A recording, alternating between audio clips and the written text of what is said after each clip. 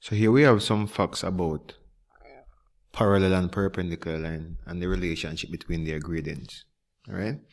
So if two lines are parallel, I know what parallel is, right? If two lines are parallel, for example,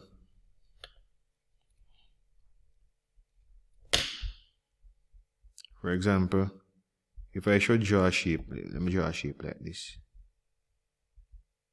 That's not a shape.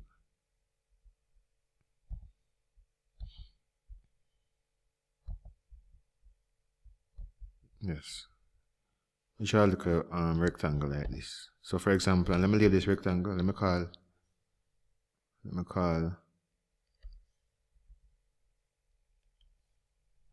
A, B, C, D.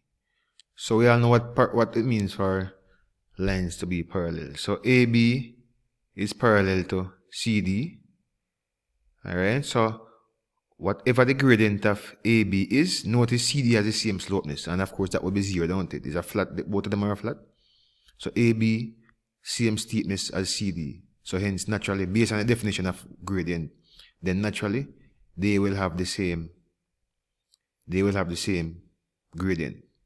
Because they have the same steepness, same angle in relation to the horizontal. Good? So if we have two lines, so in this case, the gradient, the gradient of AB would be equal to the gradient of CD. And we can see also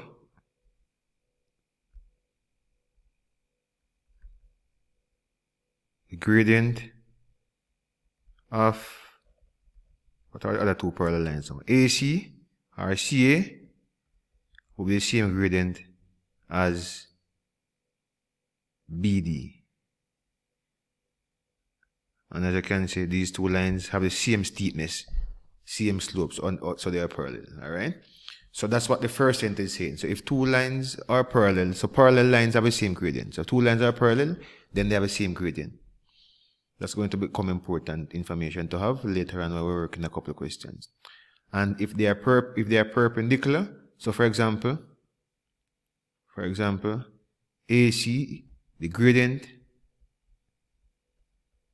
of AC times the gradient of CD would be equal to what? Based on what we have up here. And by the way, we are going to do the proof for this in subsequent videos coming, right? So the product of two gradient, the product of the gradients of two perpendicular lines is equal to negative 1. So these are perpendicular lines. Perpendicular mean they meet at right angle, right? Good? They are at right angles to each other. So AC is perpendicular to CD. So if I know the gradient of CD, and I know the gradient of AC, and I multiply them, the result should be minus 1. In other words, whenever you if you multiply two values to be minus 1, say for example you have uh, use the actual number, say 2 over 7. First and foremost, but before I even think about minus 1, what number can I multiply 2 over 7 to, to get 1? It's reciprocal, right? It's reciprocal. Or it's inverse. Good? So 2 over 7 times 7 over 2 give you 1. Alright, but the negative, for, for me to get negative 1, I have to make one of them negative, right? So, we're saying if two lines are perpendicular, one gradient is a minus reciprocal of the other. The fact that they are product, so the, the, the, the question, the statement up here says their product is equal to minus 1. And for the product to be minus 1, then one of them has to be the negative reciprocal of the other. So in other words, if I know a line that's called PQ.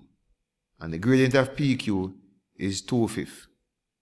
And I am told there's another line, RW, and if RW is perpendicular to PQ, then RW would have a gradient of minus 5 over 2. If RW is perpendicular to PQ. And see, I have another line AB. Let's say AB is parallel to PQ.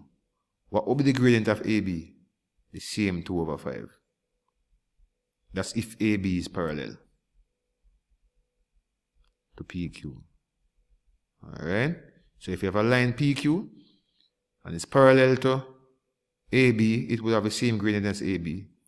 And if it's perpendicular to RW, then its gradient, RW would have a gradient of minus 5 over 2. And notice the signs are different. So if one negative, then the other positive, and vice versa. Alright, if two lines are perpendicular.